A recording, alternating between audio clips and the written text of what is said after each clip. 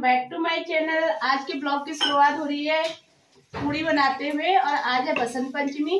आप सभी को मेरी तरफ़ से बसंत पंचमी की ढेर सारी शुभकामनाएँ। और बस यहाँ पे पूड़ियाँ बन रही हैं। कल रात भी मैंने पूड़ियाँ बनाई थी तो मैंने सोचा अभी थोड़ा सा दिखा देती हूँ। और इसलिए यहीं से आज का ब्लॉग अपना मैं स्टार्ट कर रही हूँ। तो आप सब कैसे बसंत पंचमी बनाते हैं? कमेंट करके ज़रूर इसने फ़ोन गिरा दिया। बताना और चलिए मिलते हैं आपसे बाद में। तो चलिए, खाना हमारा बन चुका है और मैंने आज बनाई थी पूड़ियाँ, पकौड़ी और सब्ज़ी बनाई थी, आलू की बनाई थी सूखी सब्ज़ी। तो यहाँ पे आलू मैं नहीं चढ़ाऊँगी और पूड़ियाँ और पकौड़ी सबसे पहले अपने पितरों को भोग लगाएँगे। और हम लोगों में ऐसे ही होता है, कोई भी त्यौहार बनता है तो सबसे पहले अपने पितरों को भोग लगता है। उसके बाद ही हम खाना शुरू करते हैं। तो चलिए, मैंने दिया बाती कर ली है यहाँ पे और हस्बैंड भी चले गए हैं ऑफ़िस। दिया बाती करने के बाद मैं लग गई हूँ अपने कामों में। आज मैंने मॉर्निंग में सबसे पहले नहाया था और नहाने के बाद ही आज के काम शुरू हो रहे हैं। और टाइम तो मैं सारे काम निपटाने के बाद ही नहाने जाती हूँ। क्योंकि हस्बैंड को ऑफ़िस जाना होता है तो मुझे जल्दी से मॉर्निंग में पूड़ी वगैरह बनानी पड़ी, क्योंकि बसंत पंचमी है तो पूड़ियाँ बनाना बहुत ज़रूरी होता है हम लोगों में। तो इसलिए मैंने नहा लिया था और बाल भी मेरे गीले ही हैं। तो अपने काम शुरू कर लेते हैं। यहाँ पे देख सकते हैं आप पूरे घर का क्या हाल है। बेड मेरा पूरा फैल रखा है और कल रात घर में छोटी सी पार्टी भी थी क्योंकि बेटी का बर्थडे था और बर्थडे के बाद हो ही जाता है। एक तो ला हमें सोने में रात को इतना ज़्यादा लेट हो गया था तो उस टाइम मेरा मन नहीं करा कुछ भी करने का। तो मैं भी सो गई थी और यहाँ पे अब पूरा अपना घर अच्छे से क्लीन कर लेते हैं और देवरानी भी आई हुई थी यहाँ पे तो दोनों मिल के करेंगे हम काम। मैं यहाँ पे बेड वगैरह ठीक कर रही हूँ और देवरानी कर रही थी झाड़ू पोछा। तो इसी तरीके से मिलजुल के काम कर लेते हैं तो जल्दी से हमारे काम निपट जाते हैं। और आज के ब्लॉग में एक बहुत अलग सी चीज़ है, जो आप देखोगे तो आप लोगों को बहुत हँसी भी आएगी। आज का पूरा ब्लॉग मैंने सूट कर लिया, सर पे कपड़े धोने वाली चिमटी लगा के।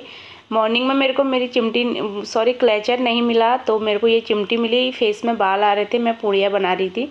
तो मुझे चिमटी मिली, मैंने चिमटी लगा ली बालों में।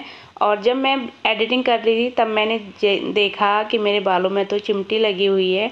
तो कोई नहीं, हो जाता है कभी कभार और मेरे से भी हो ही जाता है क्योंकि मुझे ध्यान नहीं रहा। बिल्कुल भी कामों में इतना ज़्यादा बिज़ी हो गई थी। तो जब मैं फ़ोन हाथ में लिया तो कल रात को मुझे बड़ी हँसी भी आ रही थी, जब मैंने अपने देवर उनको सबको बता रही थी कि मैंने आज का सारा ब्लॉग शूट कर दिया सर पे चिमटी लगा के।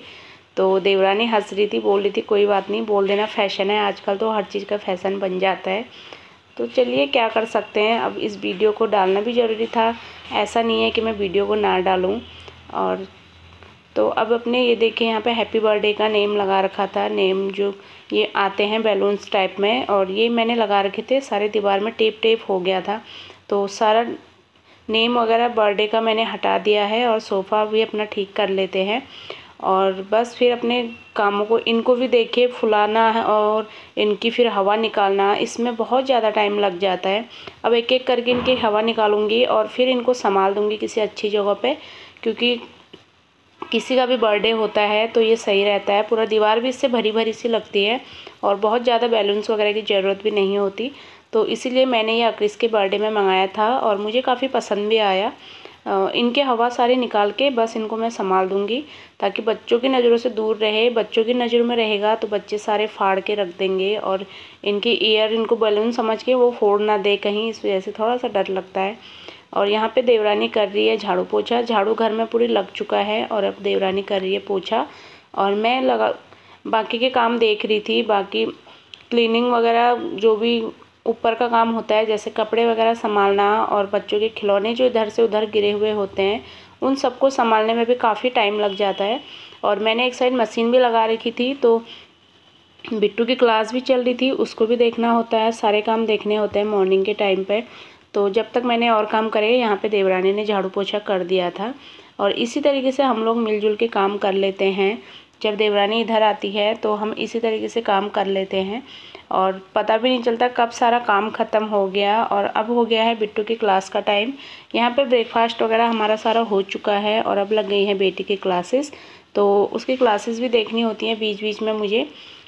तो उसकी क्लासेस भी ले रहे हैं साथ में, और साथ में बाकी के काम भी मैं निपटाती जाऊँगी।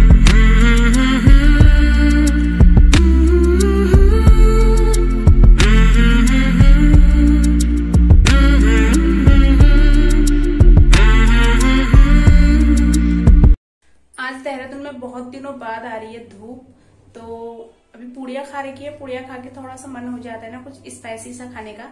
तो मैं कुछ बनाने का सोच रही हूँ। ऑरेंज रखे हुए हैं घर पे। तो पहले जो हम गाँव में खाते थे, वो मैं बनाऊँगी कुछ अच्छा सा नमक वगैरह डाल के और आप लोग देखना कितना टेस्टी लगता है। देखने से ही आपका मन हो जाएगा खाने का। तो चलिए ऑरेंज रखे हैं तो मैं बना लेती हूँ जल्दी से। और यहाँ पे मैंने ले लिए हैं दो कीनू, ये मार्केट वाले कीनू हैं। तो इनका स्वाद वैसे इतना खट्टा नहीं होता है। जो हमारे गाँव में होते हैं, उनको हम बोलते हैं माल्टे। तो उनका टेस्ट बहुत अच्छा होता है, उनमें थोड़ा सा खट्टापन भी होता है।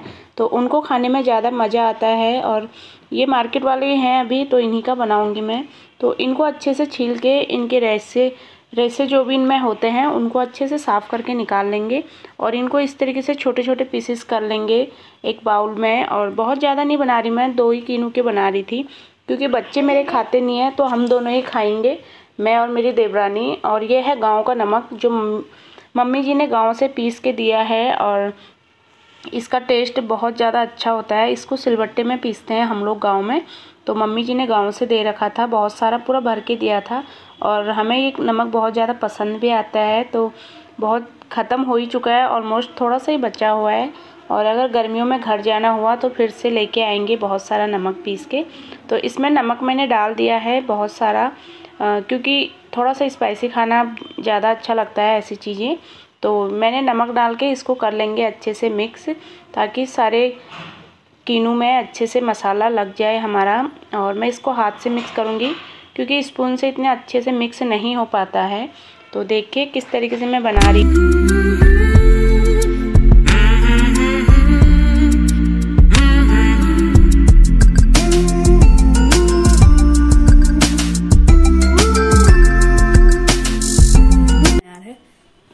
और लास्ट में मैंने डाल दिया है इसमें हरा धनिया पतला सा काट के। बहुत ज़्यादा भी नहीं डाला मैंने थोड़ा सा हरा धनिया डाल दिया। हरा धनिया डालने से और ज़्यादा इसका टेस्ट बढ़ जाएगा। और देखिए आप देखने से कितना ज़्यादा अच्छा लग रहा है। मुँह में पानी आ रहा होगा आपका पक्का। और देखिए कितना अच्छा लग रहा है।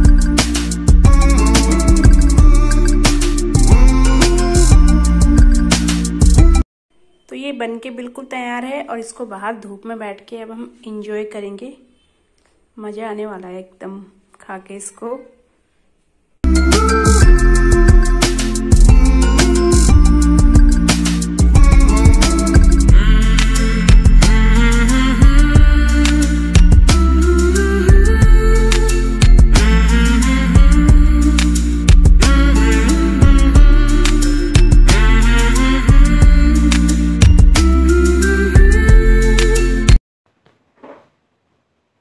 इवनिंग एवरीवन ये है इवनिंग का टाइम और यहाँ पे देखिए आप बाहर का मौसम फिर से ख़राब होने लग गया है और दिन में इतनी अच्छी धूप थी और फिर देखिए शाम को क्या हाल हो गया, फिर से एकदम काले बादल लग गए हैं और लग रहा है फिर से बारिश आएगी। बारिश ने तो इतना ज़्यादा परेशान कर दिया, बस बहुत ज़्यादा मन भर गया बारिश से। अब तो लग रहा है बस जल्दी से गर्मी आ जाए और हम आराम से बैठें।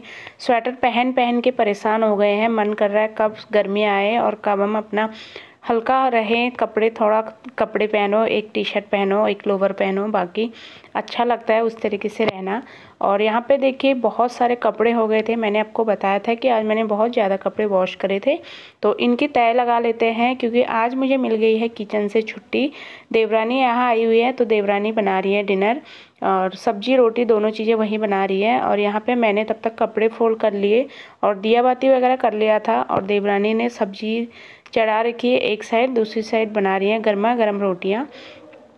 तो इसी के साथ ही अपना आज का ब्लॉग भी मैं एंड करूँगी। होपफुली आप सबको आज का वीडियो पसंद आया हो। वीडियो पसंद आता है तो वीडियो को लाइक करना। चैनल पर नए आते हैं तो चैनल को सब्सक्राइब करे बिना बिल्कुल मत जाना। तो अब आपसे मिलूँगी एक न्यू ब्लॉग के साथ। तब तक के लिए बाय एंड टेक केयर